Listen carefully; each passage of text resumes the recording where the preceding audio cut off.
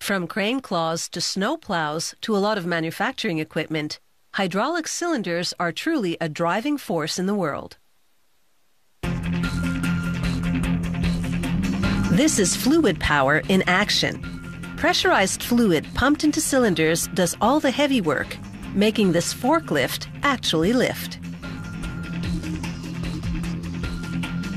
Production begins with the cylinder barrel. A bandsaw cuts steel tubing to the correct length.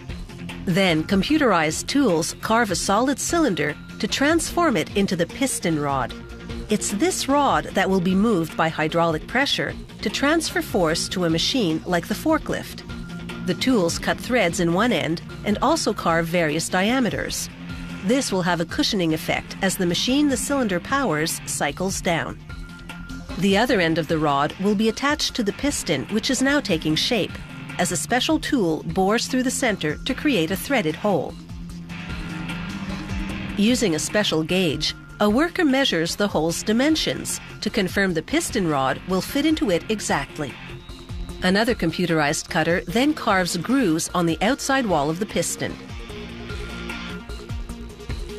With the piston now complete, they install a web of sealer rings on both it and the cylinder head, which has been machined in a similar fashion. These sealers will prevent leaking of the pressurized fluids as the piston rod moves through the center holes of these parts. This blue sealer will also act as a wiper, removing dirt from the piston rod and keeping contaminants out of the cylinder. This O-ring installed on the outside of the cylinder head will stop fluid leakage between it and the cylinder barrel.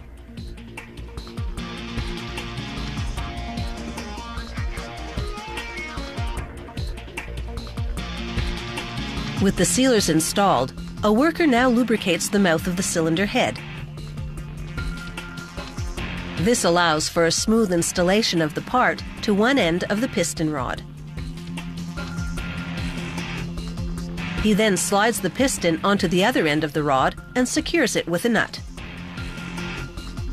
He tightens the nut to the rod using an impact gun. Production now returns to the cylinder barrel as a robot welds a cap onto it. The open fitting adjacent to it was installed earlier to attach the hose that delivers the fluids. The worker now clamps the cylinder barrel in a device to stabilize it.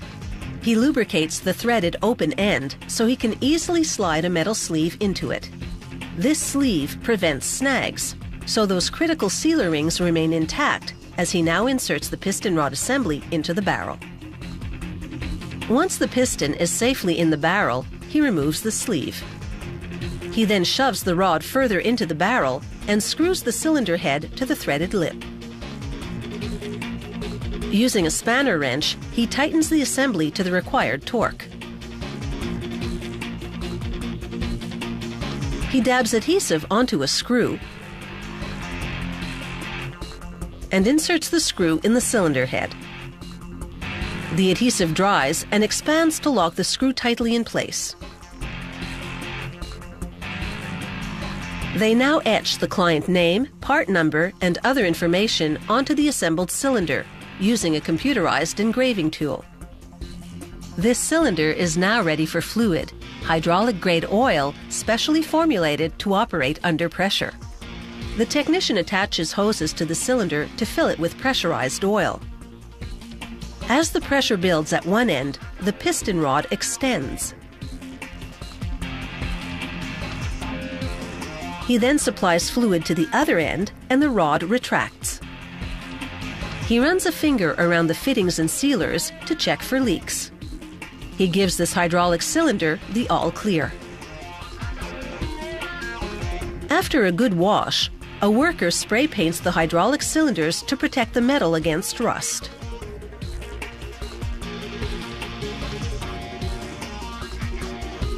Now complete, these hydraulic cylinders are ready to leave the factory. They'll soon be under a lot of pressure to keep machines and mechanisms operating, but it's the kind of pressure they've been made for.